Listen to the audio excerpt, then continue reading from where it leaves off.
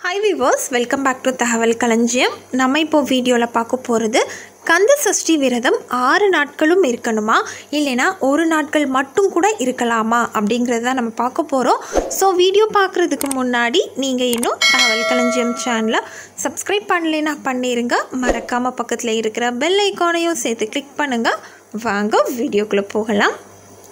கந்த சஷ்டி விரதம் எப்போவுமே கார்த்திகை மாதம் தாங்க ஆரம்பிக்கும். பட் இந்த டைம் பார்த்தீங்கன்னா ஐப்பசி மாதம் தீபாவளி அன்னைக்கே ஸ்டார்ட் ஆயிடுச்சுங்க.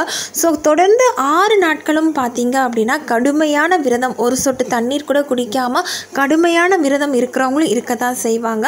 ஆனாலுமே பார்த்தீங்கன்னா நிறைய பேருக்கு வந்து சில டவுட்ஸ் இருக்கும். நிறைய பேர் என்னால் ஆறு நாள் வந்து கண்டினியூஸாக வந்து விரதம் இருக்க முடியல. எனக்கு வந்து நான் மெடிசின் எடுத்துகிட்டு இருக்கேன். இல்லைன்னா எனக்கு வேறு ஏதாச்சும் ஒரு ப்ராப்ளம் இருக்குது. என்னால் தொடர்ந்து ஆறு நாட்களும் வந்து என்னால் விரதம் இருக்க முடியலை அப்படிங்கிறவங்க நீங்கள் அட்லீஸ்ட் ஒரே ஒரு நாள் மட்டும் ஒன்பதாம் தேதி நவம்பர் ஒன்பதாம் தேதி செவ்வாய்க்கிழமை சஷ்டி அது வந்து கரெக்டாக ஆறாவது நாள். பொதுவாக வந்து செவ்வாய்க்கிழமை அப்படின்னாலே துர்க்கைக்கும் உகந்த நாள் முருகருக்கும் உகந்த நாள். ஸோ செவ்வாய்க்கிழமை சஷ்டி அப்படிங்கிறதால இந்த தினத்தை கண்டிப்பாக மிஸ் பண்ணவே மிஸ் பண்ணாதீங்க.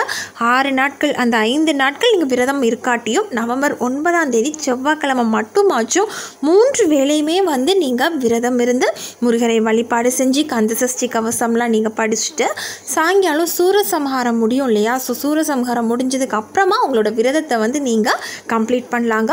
ஸோ ஆறு நாட்கள் விரதம் இருந்ததற்கான பலன் வந்து கண்டிப்பாக இந்த ஒரு நாள் மட்டும் இருந்தாலும் முழுமையான பலன் கிடைக்கும். பொதுவாக வந்து கந்த சஷ்டி விரதம் அப்படின்னாலே குழந்தை வரம் வேண்டுவோர் தான் இந்த விரதம் மேக்ஸிமம் இருப்பாங்க. பட் குழந்தைக்காக மட்டும் இல்லை உங்களுக்கு என்ன ஒரு தேவையாக இருந்தாலும் சரி நீங்கள் தாராளமாக வந்து இந்த கந்த கந்தசஷ்டி விரதத்தை வந்து கடைப்பிடிக்கலாம். ஸோ ஆல்ரெடி வந்து டூ டேஸ் வந்து முடிஞ்சிருச்சு. ஸோ இப்போ வந்து பார்த்தீங்க அப்படின்னா வர நவம்பர் ஒன்பதாம் தேதி மட்டுமாச்சும் தண்ணீர் மட்டும் கூட நீங்கள் குடிக்கலாம். தண்ணீர் மட்டும் குடிச்சிட்டு வேறு ஆகாரம் எதுவுமே எடுக்காமல் உங்கள் முழு மனதோட தூய உள்ளத்தோட நீங்கள் முருகரை முழு நம்பிக்கையோடு நீங்கள் வழிபாடு செய்யுங்க.